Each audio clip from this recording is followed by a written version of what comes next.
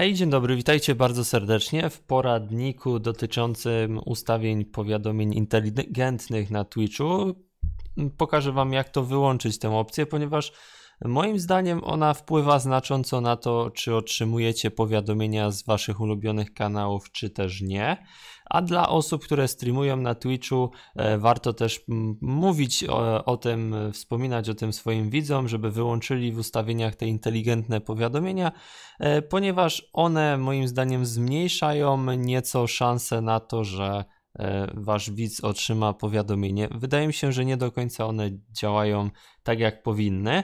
E, co to są inteligentne powiadomienia w takim wielkim skrócie? Jeżeli na przykład jestem obecnie zalogowany na stronie internetowej na Twitch, a nie korzystam z telefonu, to powiadomienie dostanie, dostanę tylko na stronie e, internetowej, natomiast na telefonie czy na maila nie przyjdzie mi powiadomienie, więc jakby w tym źródle, który jest aktywne, powiadomienie wyskoczy, natomiast nie w trzech naraz na przykład ale mm, nie zawsze to tak działa jak należy i moim zdaniem warto, e, warto mm, sobie wyłączyć te inteligentne powiadomienia. Zresztą oglądałem też film e, Hunter Brighta i tam też on wspominał o tym, żeby wyłączać te powiadomienia.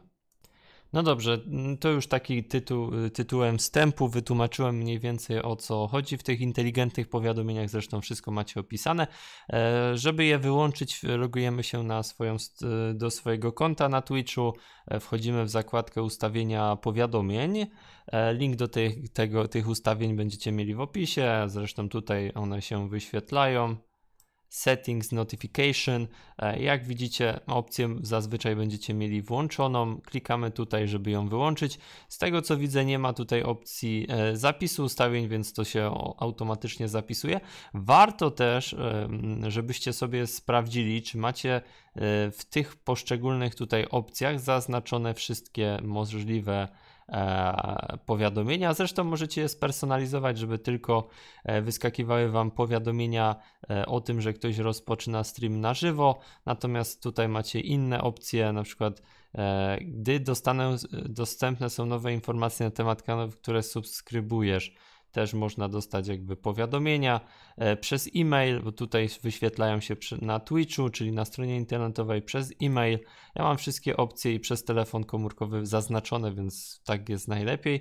No i według kanałów też sprawdźcie sobie, jeżeli jesteście widzami moimi czy innych streamerów, w tych ustawieniach e, wchodzicie sobie zakładkę niżej Proszę bardzo, według kanału klikamy i wyświetlają Wam się, jakie powiadomienia dostajecie według kanałów. No i muszą być tutaj oczywiście mm, fajka V, znaczy, że powiadomienia otrzymujecie. Jak widzicie, Blackfire Eyes jakoś nie wiem dlaczego mam, nie mam powiadomień od niego. Dla, tak działają te inteligentne powiadomienia. Jeżeli e, Wam wyskoczy powiadomienie, E, i wy nie wejdziecie w ten link e, do tego powiadomienia, czy nie wejdziecie na stream tego streamera, to wtedy automatycznie jakby odznacza wam powiadomienia. Ja sobie to wszystko, jak widzicie, zaznaczę, e, żebym po prostu dostawał powiadomienia od, od tych osób. Nie wiem czemu ich nie mam zazwyczaj, znaczy nie wiem czemu, wytłumaczyłem wam przed chwilą dlaczego tak jest. No i oczywiście wydaje mi się, bo tutaj, które zaznaczałem osoby, to są jakby nowe, które followowałem, więc prawdopodobnie, zresztą zróbmy test. Wejdziemy sobie do pana Zawadas, e, dam obserwuj e, i wyłącz raczej automatycznie z tego co widzę e, jest powiadomienie. Zresztą zobaczymy. Mm, wejdziemy sobie tutaj według kanału i czy mamy pana Zawadasa jest automatycznie zaznaczony, więc prawdopodobnie działa to tak, że po prostu wyświetliło się powiadomienie, a wy nie weszliście w niego i po prostu wam to odznacza, więc warto zwrócić uwagę sobie na to, żeby zwiększyć dla streamera, zwiększyć e, e, waszą ilość powiadomień, żeby one docierały do waszych widzów, a od widzów to żebyście też wiedzieli, że, że macie sobie tak ustawić, żebyście po prostu otrzymywali te powiadomienia. Tyle z mojej strony. Mam nadzieję, że Wam pomogłem.